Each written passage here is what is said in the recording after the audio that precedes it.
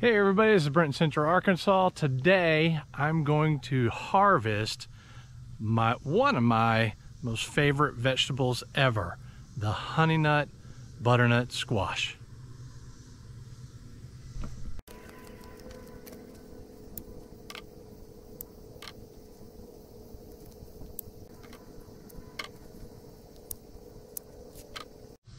These beautiful squash are so sweet and so creamy and they're a gorgeous color too.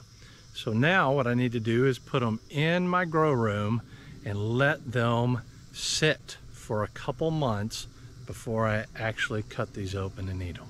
Let's do that now.